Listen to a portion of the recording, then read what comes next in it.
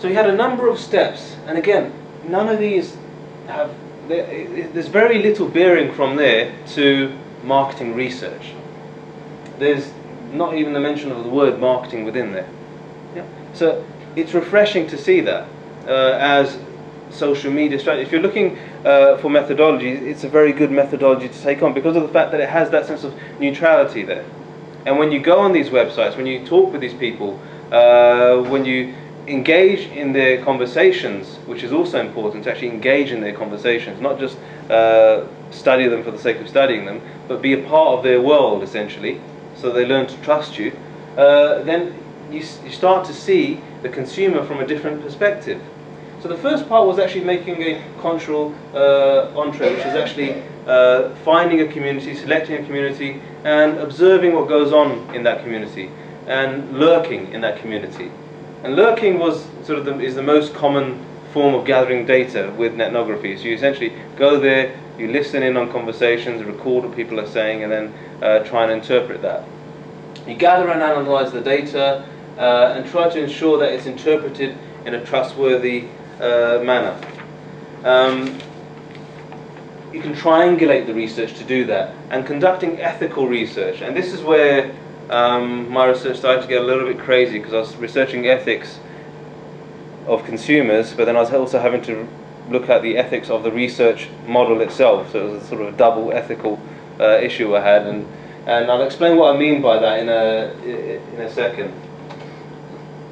Triangulation is something which hasn't taken place as much recently. So trying to use different methods to prove that your method or what you found is, is correct. Uh, so having additional interviews with participants. Uh, more recent ethnographies have not done that.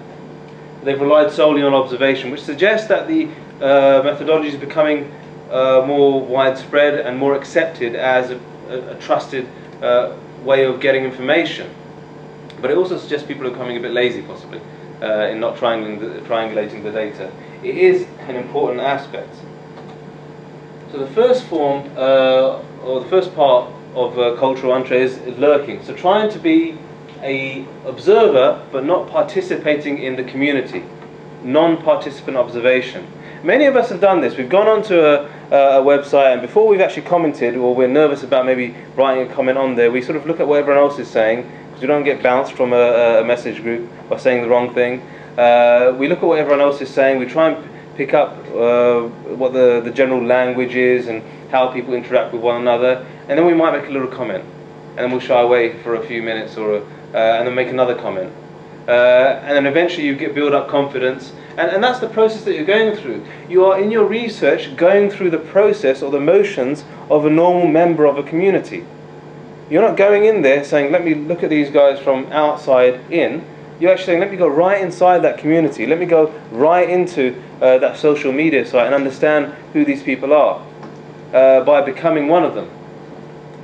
It represents a community member, and all of my all of my typologies and community members, which I which I've used in my research, have all come from cultural theory. I don't use uh, marketing theory uh, at all for typologies. I use it as a reference point sometimes, but the typologies I find are much better within sociology and anthropology. Uh, and it's been the most commonly used approach for carrying out ethnography, is just lurking, simply lurking. Just by observing community, you can get a good understanding of them. By being there, immersing yourself into that community long enough, you can get a good understanding of them. The problem that we have within uh, this approach is the ethics of it. I do you or do you not seek consent for using somebody's uh, words in your research or trying to interpret their words? Can you do it without their permission? Kozinets argues you can't or you shouldn't. You can't, you can do whatever you like. But he argues that you shouldn't. And other researchers argue that because it's public media text, you don't need to. What do you guys think? If you're using someone's information online, if you're researching somebody, is it ethical or justifiable? Maybe that's a, a slightly easier word for you to um, justify what your response might be. Uh, is it justifiable to not tell somebody you're researching them online? Yeah. I suppose if they have already agreed to uh, certain amount of sharing of their information. hmm Say, for instance, within the terms and conditions of Facebook, if they've agreed that everything on their timeline is viewable, then the idea that they should be upset that somebody's then viewing it and making assessments about them seem a little out of place, perhaps. Okay, and that's exactly the same argument that Langer and Beckman use. They say, well, these people have agreed that they're going to be on this public forum and use, and so, so therefore, using their information is there's, no- there's nothing wrong with that, right? Uh, there's nothing wrong with doing that. But there is a reason why I would recommend telling people that you are researching them, and it goes into an actual practical reason. And again, this comes from knowledge of ethnography. Now, marketers generally are seen by people who are non-marketers as a little bit corrupt and evil and uh, uh, trying to get our money and not very nice people. Right? It's one of the reasons why I don't refer to myself as a marketer all the time because it gives a negative impression. Uh, so, so that perception is out there, uh, and it's out there for a reason because uh, a lot of the time what marketers do is very, very borderline. You know, it is borderline to, as we were talking about before, uh, get a 60-page A4 document uh, which no one's going to read and ask people to agree to the terms and conditions on that. Within those terms and conditions, there's bound to be something which you don't like, right? It's impossible for there not to be. So, with that in mind, I, I looked at some, and I, and I spoke to a colleague actually um, at the University of Essex, who said it's really important to tell people that you are researching them because that way you can go through this process of member checking. So, how do you know what you've written about somebody is correct? How do you know that you've interpreted it in the right way? In other words, is your research valid? Now, obviously, the viewpoint used by Langer and Beckman, if you can justify it, fine, you're okay with it. But I'm just representing uh, the viewpoint which, which I have based on, uh, and, and this, this sort of story uh, will probably help to cement it, maybe.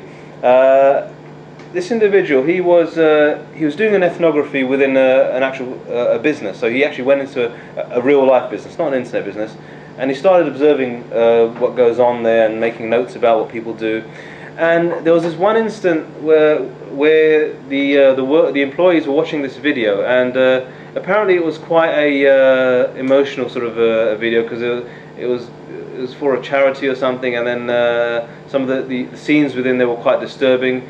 And he saw one uh, one lady who sort of had her head head in her hands, and she looked quite distressed by what she was seeing.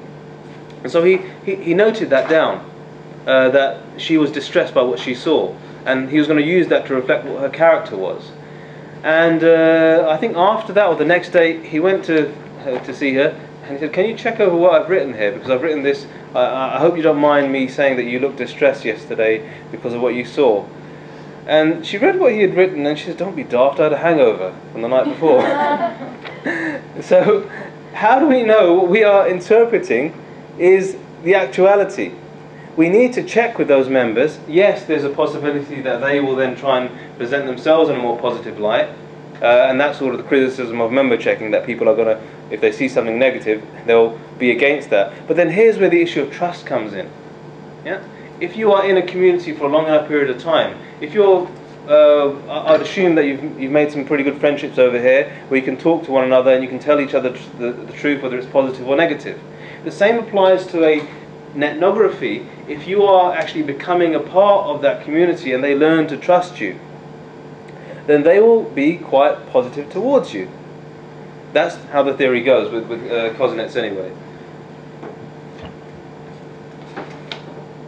The, the interesting thing, and the reason I put this section here, is because Langer and Beckman, who in the previous slide I said uh, don't necessarily prescribe to member checking and disclosure, uh, actually talk about this is something which was uh, a presentation from what Beckman did. She said the researcher should take a cautious position on the private versus public medium uh, issue. So in the presentation she was a little bit for it, and maybe I'm sort of trying to have a go at Beckman here um, for having a double standard, because when she's presenting about netnography, she talks about the importance of seeking and obtaining permission, whilst in the actual netnography which she did on cosmetic surgery, her argument was it's a sensitive issue, uh, and that's why we did it slightly covertly. So just a twofold.